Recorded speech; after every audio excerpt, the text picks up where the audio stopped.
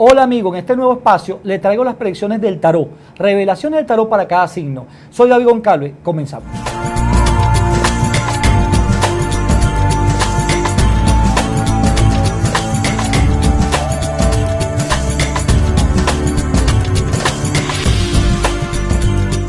Cáncer, vamos con cáncer.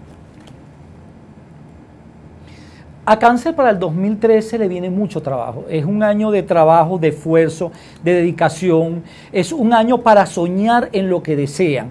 También es un año donde ellos tienen que cuidar mucho la salud, sobre todo las dietas. En general es un año para, fíjate que muchos de este signo se van a preocupar mucho por la figura de un padre o posiblemente una madre, aunque las cartas me hablan de un padre. Eh, la rueda fortuna les indica que tienen que luchar mucho por estabilizarse en la economía, estabilizarse en un trabajo. Tienen que tener mucho cuidado su actitud, lo que dicen, lo que se expresan, porque eso le puede traer conflicto en la parte laboral. En general, eh, muchos de este signo van a estar pendientes de un niño, si no es eh, un hijo, es un sobrino. hay una enfermedad con alguien de la familia, que esto puede traer un poco de caos.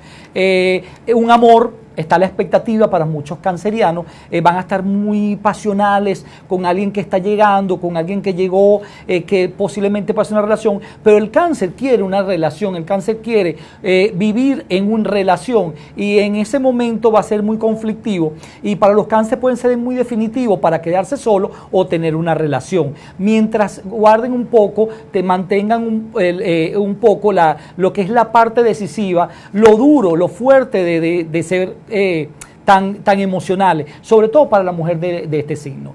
Para finalizar, el cáncer se siente solo. Se siente solo, se siente que en este momento eh, ya tiene una vida un poco ya hecha, necesita una relación, necesita estabilizar una relación y sobre todo emprender un nuevo rumbo de vida profesional. Las cartas acaban de revelar las predicciones para el 2013 para cada signo. Le habló David Goncalves a través de Cool Channel.